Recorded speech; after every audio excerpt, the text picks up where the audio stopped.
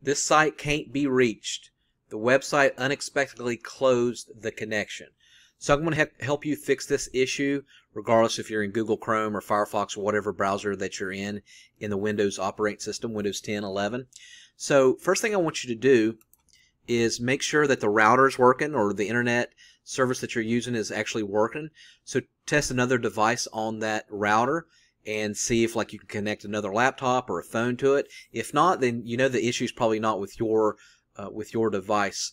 And if it is not connecting because of the router, just disconnect it from the wall for about a good five to ten minutes, reconnect it, and then see if you're able to get connected. Next thing, what I want you to do is usually a lot of times the time is incorrect on your computer, especially if you have like a laptop. What will happen is the CMOS battery will go bad in the laptop, and that's like a little watch battery.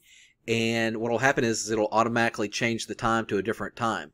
So regardless if you are in a laptop or a desktop, double click on the time and the date on the very bottom right of your screen, and then see if the time and the date's correct and the time zone, because that's important as well and then restart your browser.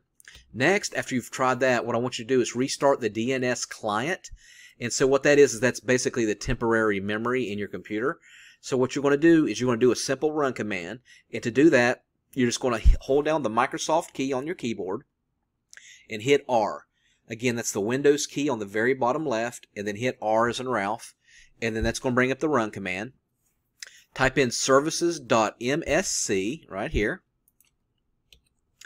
and that's going to bring up a whole row. When you see DNS client, right click it on your mouse, right click, and left click restart if that is an option. If it's not an option, just choose refresh and then restart your browser and then see if you're able to get into a web page. Okay, next thing I want you to do is clear the browser cache. That's basically the temporary memory in the browser itself. And so I'm going to show you on Google Chrome. If you have another browser, just look up how to do that. But on Chrome, you would hit the three little dots up here and then on the very far left, you in settings, you're going to hit privacy and security. And then from here, what you're going to do is you're going to click clear browsing data.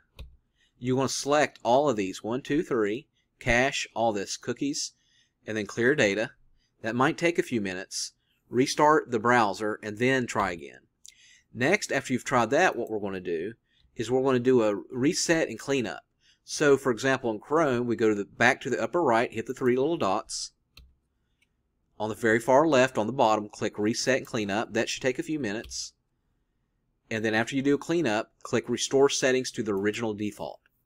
Then restart the browser and then see if you're able to get connected. Next thing I want you to do is try a different browser in general. So if you're using Chrome, try Firefox.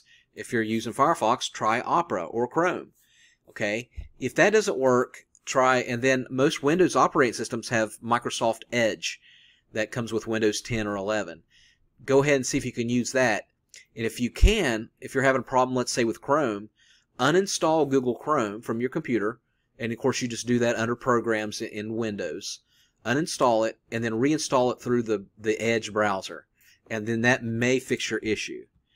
Next thing what I want you to do is to is to temporarily disable any extensions. That's like, you know, ad block or whatever. There may be some running that you're not aware of. So for example, with Chrome, we, we click on the three little dots up here.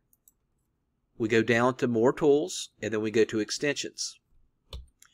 And then from here, what we're going to do is we're going to we're going to go ahead and disable by clicking this and making sure it's gray, gray, gray, and that one's blue. So we'd make that gray, and then X out of your browser, and then see if you're able to get in. Next thing you want to do is do an update on your Chrome, so or your browser. So for example, with Chrome, again, we hit the three little dots up here, go to Help, and then go to About Google Chrome. And as soon as you do that, it'll automatically start updating, and you'll see a cursor with the percentage in the very center of the screen. All right, I appreciate you watching.